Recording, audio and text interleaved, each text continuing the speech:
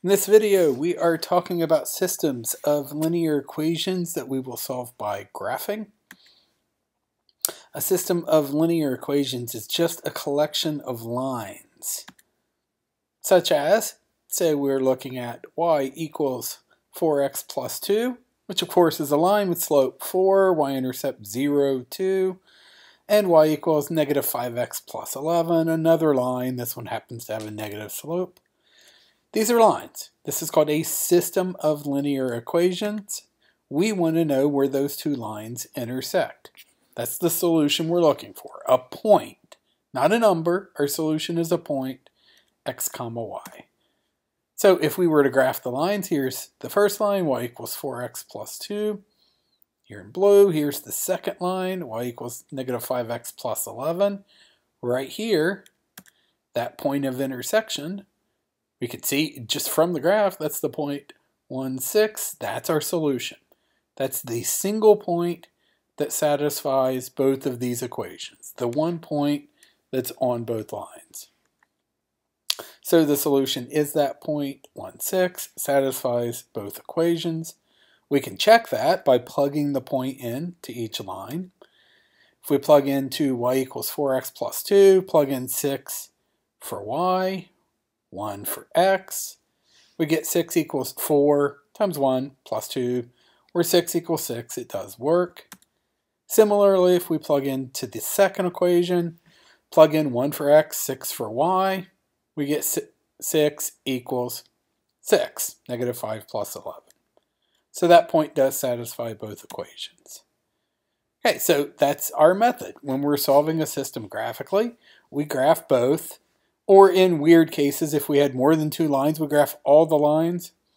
We look at the picture, see where the lines intersect. That point of intersection is the solution. Always keep in mind those solutions are points, x, y, not numbers. Okay, let's look at another example. Let's graph these two lines. Okay, and use whatever your favorite method of graphing the two lines is. So we put both lines on the same set of axes. We could use an XY chart, find the intercepts, whatever your favorite method is. Hey, look, we graph these two lines. We get, here's the line 2x plus 4y, or 2x plus 3y equals 4. Here's the line 4x plus 6y equals 1. Those lines are parallel. They don't intersect. There's no point of intersection. The lines are parallel. Remember, we're looking for the point of intersection. There is none, so there's no solution. This system of equations has no solution. We call this an inconsistent system.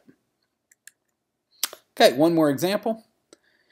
Say we want to solve this system of equations. Again, we'll do it by graphing. So we graph both lines. We graph x minus 2y is 4, 3x minus 6y is 12 and we get this. So this blue line that's hidden under here is the line 3x minus 6y equals 12. You can check that on your own. That's what it looks like. The line x minus 2y equals 4 lies right on top of that. Remember, we're trying to figure out where these two lines intersect, where they live in the same place. They live right on top of each other. They are the same line, in fact. So where do they intersect? They intersect at all points on that line. So the solution, where did the lines intersect? All the points on the line. We give this a name as well. We call this a dependent system.